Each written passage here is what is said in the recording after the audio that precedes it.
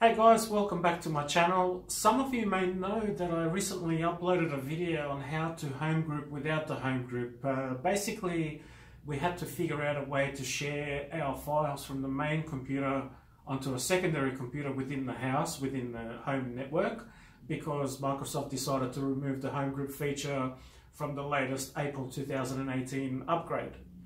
Um, the video was well received. Uh, I ended up getting a lot of likes and I ended up getting a lot of thank you comments, so uh, even some extra subscribers. So thank you so much for liking, sharing, and subscribing. It really means a lot to me.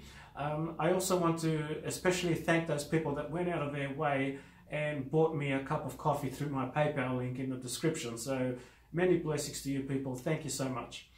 Now, a lot of uh, questions that I also had was about how to share a secondary drive within the home network. Uh, obviously, many of you have an SSD drive as your main operating system and then you hold all your media onto a secondary drive, which is fair enough. And uh, today's video is going to be about how to share your secondary drive within the house uh, with the rest of the devices. But it doesn't stop there because uh, this tutorial will also enable file sharing if you have one of these guys plugged in, so it doesn't have to be an internal drive. You can have an external drive plugged into your main computer and you can also share the contents of this external drive from the main computer through your network on the secondary computer. So without further ado, let's get cracking and let me show you how to share these babies. Thanks for watching.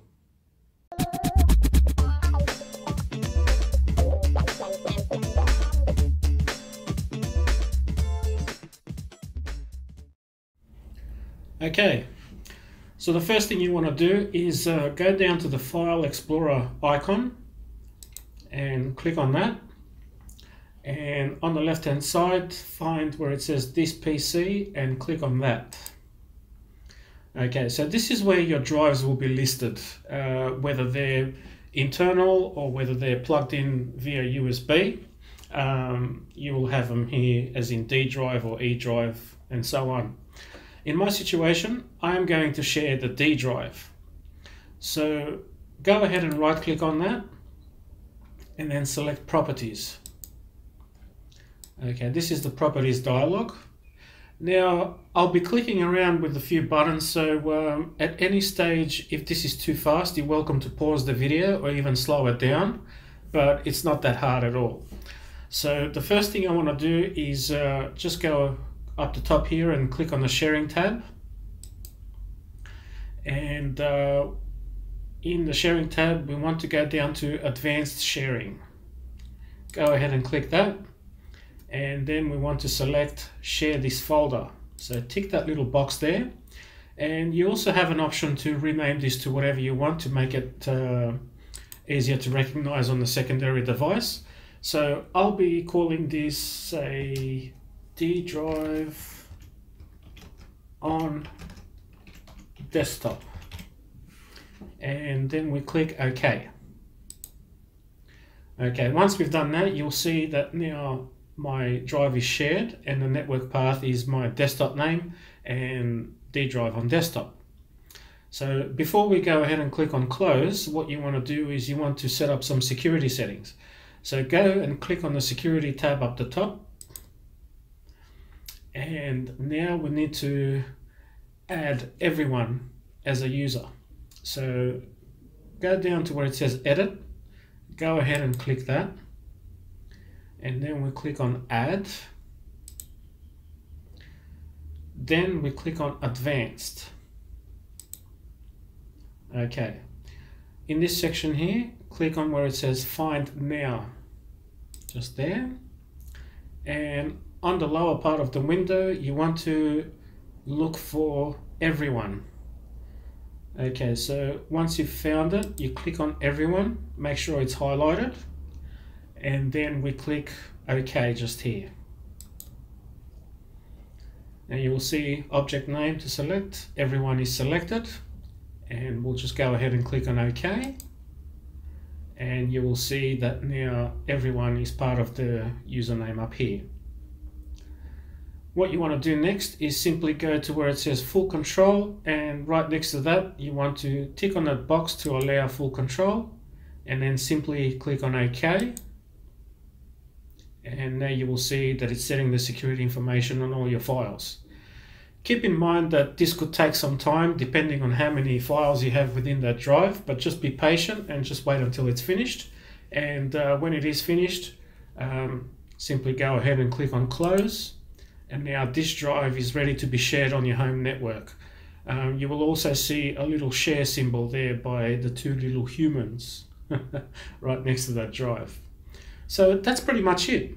Now what we have to do is uh, go onto my laptop and I will show you how to access that on the laptop.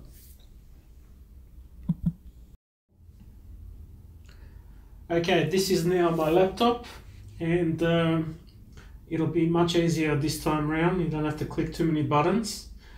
All you want to do is just go down to your File Explorer window, uh, sorry, icon, and click on that. And then on the left hand side, you'll see where it says Network. Go ahead and click on that. And uh, this will give me a list of all the devices within my network. And uh, I'm simply going to be looking for my main desktop computer, which is the MLR TJNO and uh, simply double click on this and you will see now that uh, my D drive on the desktop is visible on the laptop just here. So now all I have to do is just double click on this and I can access all my files and folders within the D drive that's on the desktop. If I want to go ahead and look at something, for example a video, I'll just click on my videos folder and uh, now for legal issues, I can't really play anything that's not supposed to be played on YouTube. So I'm just going to go to, say, one of my camera videos, uh, go to 2018. I don't even know what I have here, but uh, just for argument's sake, just select that one. And now I'm actually watching um, the video from the D drive on the desktop. So that's pretty much it. Um, if this doesn't work for you, I am going to be including some troubleshooting tips right after this uh, to help you uh, troubleshoot the problems that you may be having while sharing. At this stage, you should be able to access your drive from your desktop or main computer onto a secondary laptop or device within the house. Uh, especially if you follow the instructions on my previous video, which was the home group without home group. Um, however, if you haven't watched that video yet, you can go ahead and watch it. But if not, uh, I'll show some troubleshooting tips on my next bit coming up. Okay, so here's some troubleshooting tips that um, will help you along the way if um, your drive hasn't shared the first thing you want to do is uh, click on the start button and then you just go up to settings. And uh, within the settings you click on network and internet. And uh, just under network status you want to make sure that your network is set to private. Uh, this is applicable for both computers or all computers within the network.